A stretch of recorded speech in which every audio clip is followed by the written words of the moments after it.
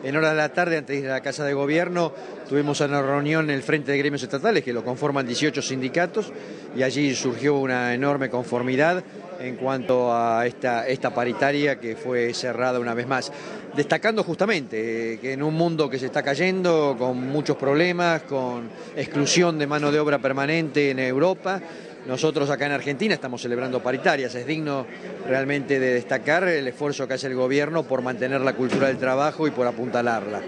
Así que estamos conformes. Se busca un punto medio entre lo que significa la parte empleadora y la representación de los trabajadores, pero además ustedes saben que más allá del guarismo del, porcentaje salarial, una paritaria encierra otro montón de cuestiones importantes. Nosotros en particular estamos batallando ya bastante adelantados para que las vacantes que están presupuestadas sean abiertas por concurso. En este caso, en este año va a haber 5.000 vacantes que están siendo concursadas para que las plantas transitorias puedan ser incorporados a la permanencia del trabajo, tal cual en su momento lo decidió la propia presidenta Cristina cuando consideró que había que tener una sola clase de trabajadores que son los de planta permanente dentro del Estado.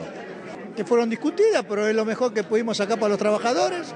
Estas paritarias nosotros apoyamos, damos a entender que estamos codo a codo con el gobierno y vamos a seguir defendiendo este modelo eh, industrial y económico y por eso yo creo que los empresarios trabajadores entendimos que esta es la mejor paritaria que pudimos hacer en este momento que necesita el país.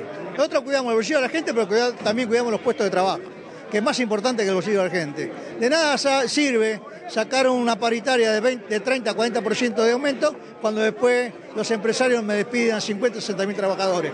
Yo no soluciono el problema.